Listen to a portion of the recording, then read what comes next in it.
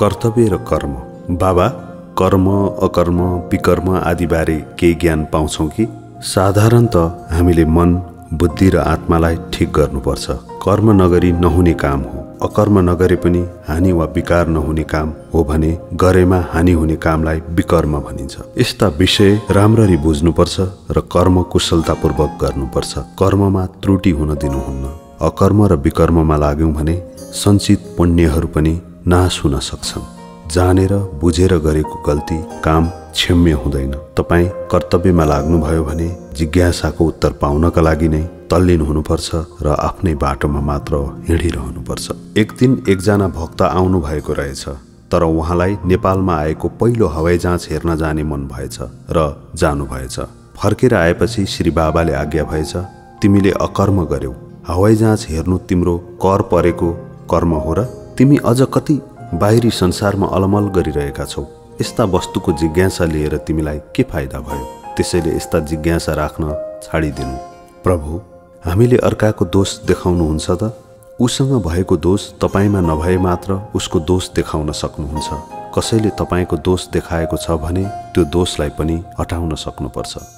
शाश्वत सत्यको चिन्तन तथा परमात्मा स्मरणमा जति लाग्न सक्यो उति नै आत्मा ठिक भएको सम्झनुपर्छ।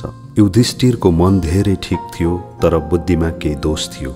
दुर्योधनको व्यावहारिक बुद्धि ठिक थियो तर मन दोषी थियो। सुखदेवजीको मन बुद्धि र आत्मा तिनै कुरा ठिक थिए। कर्तव्यमा लाग्नु मनलाई स्थिर पार्नु र अरूका कुरा भाग्यका भरमा पर्नु। श्री बाबाले माधव बाजेलाई जाडोयाम सुरु हुन लाग्दा एक दिन आज्ञा भएछ हेर माधव यो जमिनको घाँस सुकेर मर्न लाग्यो। यो जमिन केही दिन अघिसम्म हरियो घाँसले हराभरा देखिएको थियो। जति जाडो बढ्दै जान्छ यो जमिन घाँस नभएको जस्तो उजाड देखिन्छ। तर जब वर्षा सुरु हुन्छ अनि घाँस बिस्तारै पलाएर आउँछ र केही समयपछि हराभरा हुन्छ त्यस्तै सत्कर्मको बिउ रोप त्यो बिउ कहिल्यै नाश हुँदैन र एक दिन अवश्य फलदायी हुन पुग्छ। प्रभु नियति भनेको के हो त?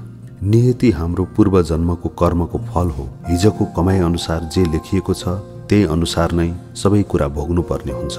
यो जीवनमा आउने सुख दुःख सबै पूर्व जन्मकै उपज हुन्। श्री बाबाको धेरैजसो भक्तहरू शनिबार आउने गर्नुहुन्थ्यो। उहाँहरूमा पनि एक भक्त सरकारी नोकरीमा हुनुहुन्थ्यो। उहाँ साँझ बिहान पनि मिहिनेत गर्नुहुन्थ्यो तर पनि गुजारा चलाउन कठिन नै हुन्थ्यो। उहाँ आए पनि केही समय सुत्नुहुन्थ्यो। श्री बाबा आज्ञा हुन्थ्यो उनको नियति नै त्यस्तै छ। उनको नियति नै यस्तै छ।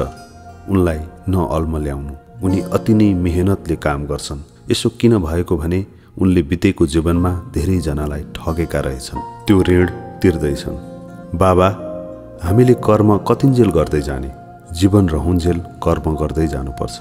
नत्र कसरी गुजरा चलाउने? सुखदेवजीले भागवत सुनाएर समय बिताउनु भएको थियो। म पनि सिक्न आउनेहरूलाई सिकाइदिन्छु। जसले जति दिन्छन् त्यसैबाट आफ्नो गुजारा चलाउन र सेवकका परिवारहरूको रक्षाका लागि दिन्छु। ईश्वरको चर्चा गर्ने भए म कहाँ आए हुन्छ? जीवन रहन्जेल कर्म गर्दै जानुपर्छ नत्र कसरी गुजारा चलाउने? सुखदेवजीले भागवत सुनाएर समय बिताउनु भएको थियो। म पनि सिक्न आउनेहरूका लागि सिकाइदिन्छु। जसले जति दिन्छन् त्यसैबाट आफ्नो गुजारा चलाउन र सेवकका परिवारहरूको रक्षाका लागि दिन्छु। ईश्वरको चर्चा गर्ने भए म कहाँ आयो हुन्छ? अरू चर्चा गर्ने भए अन्यत्र जानुस्। आफ्नो जिम्मामा परेको काम राम्रोसँग सम्पन्न गर्नुपर्छ। जिम्माको कामलाई सानो भनेर हेलचेक्राइ गर्नु उचित हुन्न। कुनै गुरुले एउटा शिष्यलाई आठ दस मिल परको सहरमा गएर सियो किनेर ल्याउनु भनी हराए शिष्य सियो किनेर फर्कँदै थियो। उसले यति टाढा आएर पनि जाब सियो मात्र के लैजानु? जङ्गलबाट अलिकति दाउरा पनि काटेर लैजाउँ भनी सोच्यो र दाउराको मुठाको बिचमा सियो राखेर पुर्यायो। गुरुलाई सियो दिन लाग्दा त सियो कहाँ गयो कहाँ? पाउन असम्भव भयो। शिष्यले जो काम आफ्नो जिम्मामा लिएको थियो त्यो सफल भएन। त्यसैले कर परेको काम गर्नु अनि ईश्वर दर्शनका लागि मरिमेट्नु। पुरुषार्थ भनेको के हो त प्रभु? कर्तव्य मात्र गरेर चाँडै परमात्मा दर्शन गर्ने लक्ष्य प्राप्ति गर्न सक्दो कोसिस गर्नु नै पुरुषार्थ हो। अठोट गर्नु जे गर्ने हो विचार पुर्याएर लगनशील भएर गर्नु। प्रभु कर्म केलाई भनिन्छ र ध्यान केलाई भनिन्छ? कर्मलाई रिकापी र ध्यानलाई खानेकुरा सम्झनुहोस्। जसरी रिकापी भएन भने खानेकुरा राख्न र खान अप्ठ्यारो हुन्छ त्यसरी नै कर्म पुरा नगरी ध्यान सम्भव हुँदैन। जसरी काम गरेपछि तलब पाइन्छ त्यसरी नै कर्म गरेपछि ध्यानमा अगाडि बढ्न सम्भव हुन्छ। कर्तव्यमा मात्र ध्यान दिने हो तलबमा होइन। काम गरे अनुसारको तलब पाइन्छ। ईश्वरको स्मरण र चिन्तनमा कम समय दिने तर चाँडै नै ईश्वर दर्शन गर्ने आशा गर्नुहुन्छ भने ठिक हुन्न। दुःख होस् या सुख परमात्मा प्रति श्रद्धा विश्वास र भक्ति हुनैपर्छ संसारतर्फ हामीले अनावश्यक चाख पनि लिनुहुन्न। यो त आउने जाने एउटा बाटो मात्र हो भन्ने सम्झनुपर्छ। बुद्धिले उपयोग गर्न बुद्धिले उपयोगी कर्म गर्नुपर्छ भने मनले जहिले पनि विवेक प्रयोग गरेर मात्र काम गर्नुपर्छ। हल्लामा मात्र लाग्नुहुन्न। धैर्य लियो भने ध्यानमा बस्न सकिन्छ र परमात्मा दर्शन गर्ने आफ्नो उद्देश्य पूर्ति हुन्छ। मानिस जब श्रद्धाले परमात्माको पुकार गरेर आफ्नो घमण्ड अहम्पना उहाँलाई नै समर्पण गर्दछ तब मात्र उसले बुझ्न थाल्दछ। सर्वत्र ईश्वर भाव राखेर जीविकाका लागि आवश्यक काम मात्र गरे पनि चौबिस घन्टा नै ध्यान हुन सक्छ। कर्तव्यमा मात्र मनलाई व्यस्त राख्यो भने डर त्रासले सताउन सक्दैन। कोठाको झ्याल ढोका खुलै राखेर भित्र हुरी बतासले फोहोर गर्यो भने कसलाई दोष दिने त? झ्याल बन्द गरेमा बतास कसरी भित्र पस्छ? म कहाँ आउँदा ढुकुटी खुल्लै छाडेर आयो भने तिम्रो मन मेरो कुरा सुन्नमा लाग्छ कि? ढुकुटीको धनतिर। त्यसैले कर्तव्यमा व्यस्त रही ईश्वर चिन्तन गर्दै उहाँकै भर पर्यो भने चिताएको सबै कुरा पुग्छ र पाउनुपर्ने पनि पाइन्छ। भगवानको भर पर्नु। जबसम्म हामी कर्तव्य गर्दैनौँ तबसम्म हामीले जति प्रयास गरे पनि परमात्मा हामीसँग खुसी हुनुहुन्न। आफूले रोपेको बिउ उम्रेको देखेर दङ्ग पर्नुहुन्छ र समय आएपछि त्यसले फल दिन्छ भनेर चुप लागेर बसिरहनुहुन्छ। यो जसले पनि बुझेकै कुरा हो। बिउ रोप्नासाथ फलको आशा गर्नु मूर्खाइ नै हो। परमात्माको चिन्तन पनि बढाउँदै जानुहोस् एक दिन अवश्य फल पाउनुहुनेछ। प्रभु परमात्मा दर्शन गर्ने कामना लिनु उहाँकै भक्ति गर्नु पनि कामना नै होइन र यो त निष्काम भक्ति भएन नि त। कहाँ छ त निष्काम भक्ति? यी सब भनाइ मात्र हुन्। परमात्मा दर्शनको कामना पनि कामना नै हो नि। बितेका जीवनमा गरेका पाप कर्मको फलको भोग गर्न परमात्माले हामीलाई यो शरीर रूपी जेलमा पठाइदिएका छन्। यस जीवनमा राम्रो काम गरी सुध्रन सक्यौँ भने ईश्वर खुसी भएर हामीलाई संसार रूपी जेलबाट चाँडै नै छुटकारा दिन्छन्। त्यसैले दुःख पाए पनि सुख पाए पनि सम्भाव राखी ईश्वरको खोजीमा लाग्नु नै पर्छ।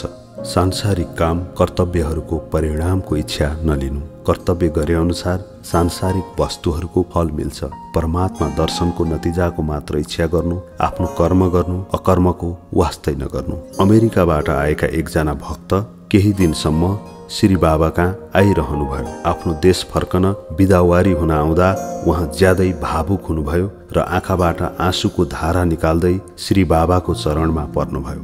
उहाँको आँसुले चरण भिज्न लाग्यो। उहाँलाई श्री बाबाले शरीर टाढा हुँदैमा केही हुँदैन मन टाढा नपारे पुग्छ भनी आज्ञा भयो। बाबा हजुरले हामीलाई सात्विक कर्म गर्नु आज्ञा हुन्छ।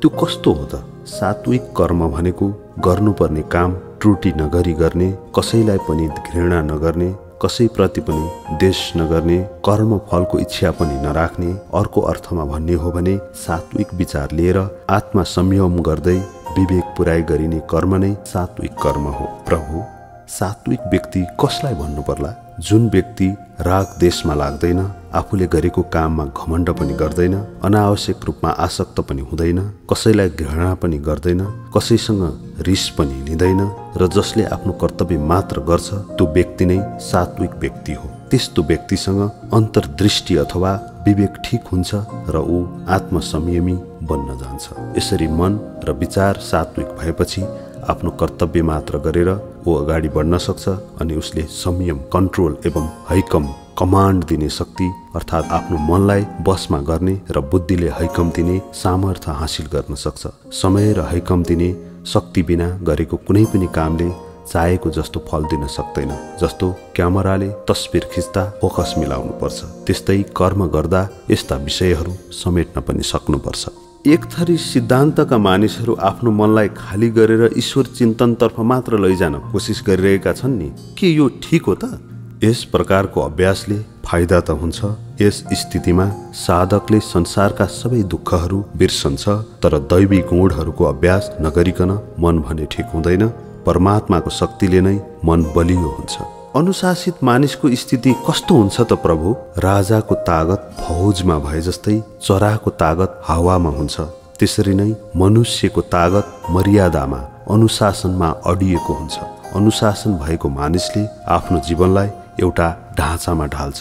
ऊ कुनै पनि काम बढी गर्दैन र कम पनि गर्दैन।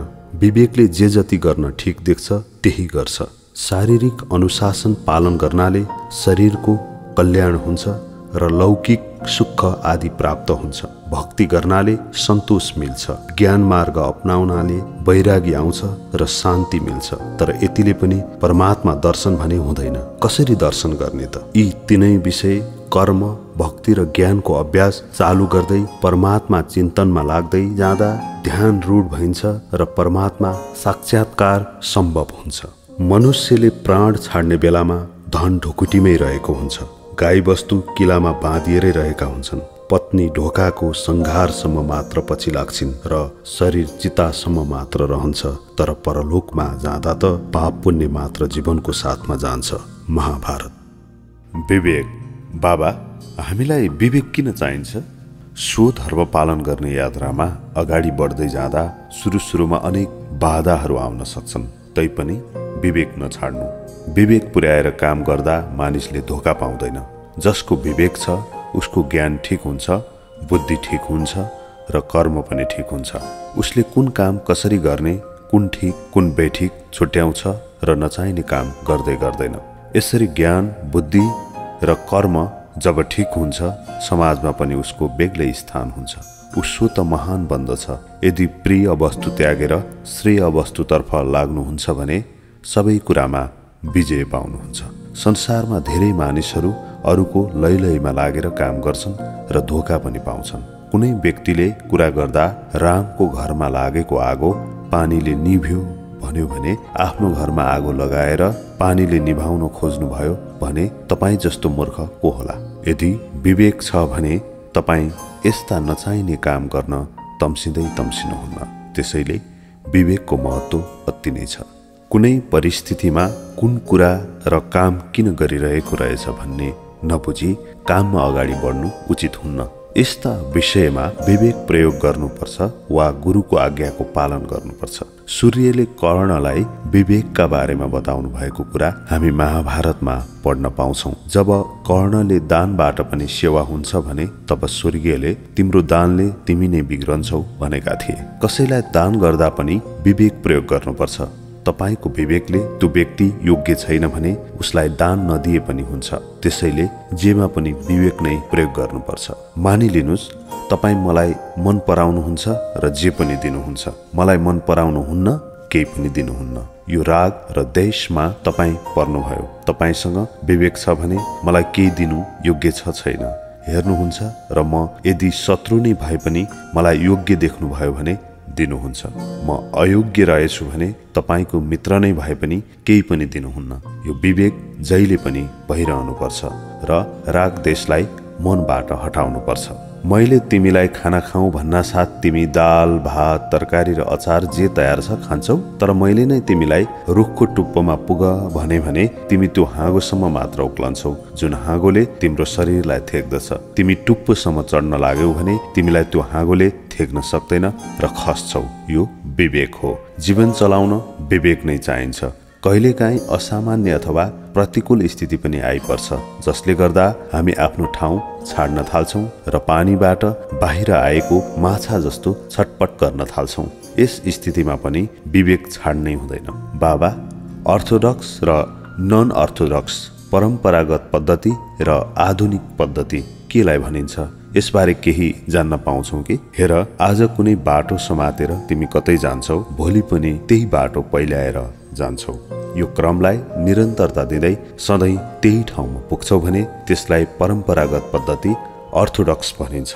तर तिमी त्यही ठाउँमा जाने अर्को बाटो छ कि भनी बाटो पहिल्याएर त्यसै ठाउँमा पुग्न कोसिस गर्छौ भने त्यसलाई आधुनिक पद्धति नन अर्थोडक्स भनिन्छ। आफूले विवेक पुर्याउन नसकेको हकमा भने परम्परागत पद्धति अर्थोडक्स पद्धति नै ठिक हुन्छ। मलाई अर्थोडक्सहरू नन अर्थोडक्स भन्दछन् र नन अर्थोडक्सहरू अर्थोडक्स भन्दछन्। तर कसले के भन्छ भन्नेतर्फ हामी लाग्नुहुन्न। म आफूलाई अरूभन्दा उच्च पनि सम्झन्न र जतिसुकै उच्च पदमा पुगेको व्यक्ति भए पनि आफूलाई ऊभन्दा निच पनि सम्झन्न। विवेकी पुरुषका लागि पाप र पुण्यमा केही फरक छैन। जसले पनि आफ्नो कर्तव्य गर्नै पर्छ व्याधाले पनि आफ्नो परिवार पाल्ने पेसा त गर्नै पर्यो। त्यसै गरी अपराधीलाई झुन्ड्याउने पदमा जागिर खाएको व्यक्तिले उसलाई झुन्ड्याउनु पनि पर्दछ तर त्यसको जिम्मेवारी उसले लिँदैन। उसको कामको प्रकृति भने तामसिक त पक्कै हो ऊ त्यस किसिमको काम भए पनि गर्न तत्पर हुनै पर्छ। यस्तो काम गरे पनि उसको आत्मा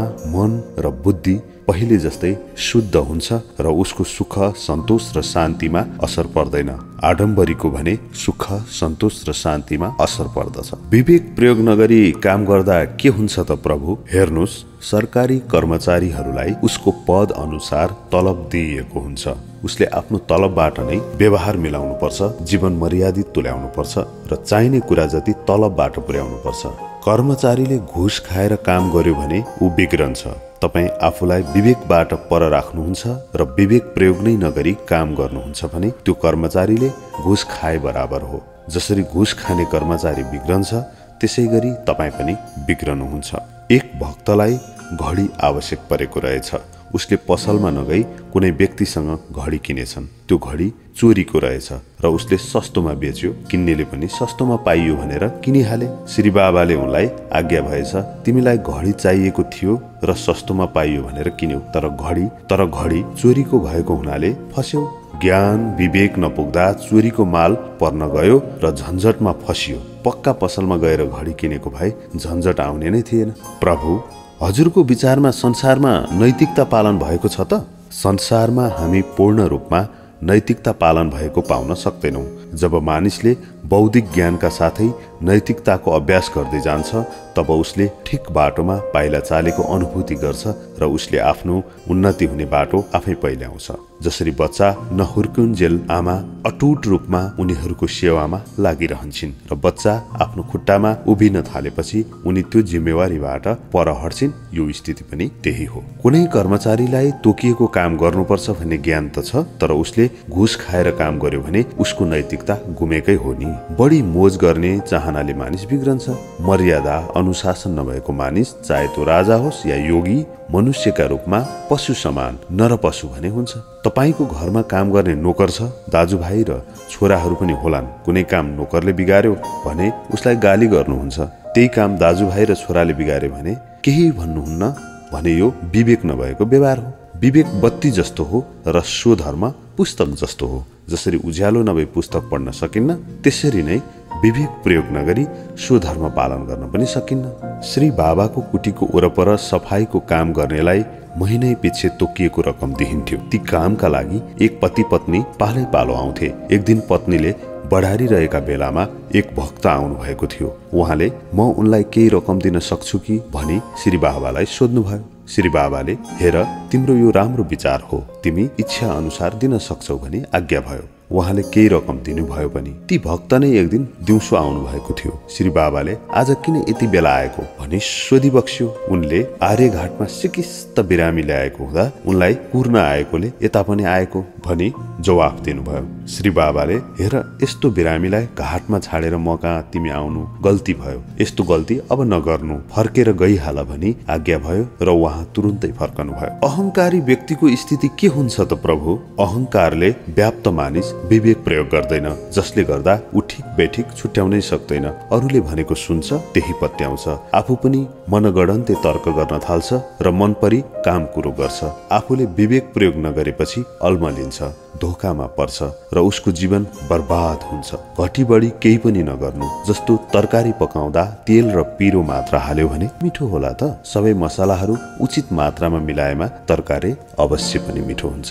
प्रभु समाजमा मानिसले आफ्नो मिजास अनुसार नै काम गर्ने प्रवृत्ति छ जसले पनि आफ्नो श्रीमती र छोराछोरीलाई बढी माया गर्दछ तर हजुरले यी सब विवेक अनुसार गर्नुपर्छ आज्ञा हुन्छ नि? हो ठिक। मानिसलाई आफ्नो स्वभाव बदल्न कठिन हुन्छ तर बदल्न चाहेमा ऊ समर्थ पनि छँदैछ। बाबा मानिसहरू व्यक्तिहरूप्रति आफ्नो प्राधान्यता देखाउन खोज्ने बानी भएका पनि छन्। अनेक कुराहरू सोच्ने बानी पनि छ जसले गर्दा उसको मन कमजोर भएको छ यसको मतलब के ऊ परमात्माबाट पर गएको हो त? उसले परमात्माको मार्ग छोडेर जीवनलाई नै बढी अँगाल्न थालेर यस्तो भएको हो। उसको आफ्नो आदतले गर्दा नै यस्तो भएको हो। यदि तपाईँले बढी खाना खाने बानी गर्नुभयो भने रोग सो त आइहाल्छ नि। मानिसको यस्तै बानीले उसले दुःख पाएको हो। सबै प्राणी आफ्नो आफ्नो कर्म अनुसार जन्मन्छन् मर्दछन् र त्यही कर्म अनुसार उसलाई सुख दुःख भए मङ्गलको प्राप्ति भइरहन्छ। श्री कृष्ण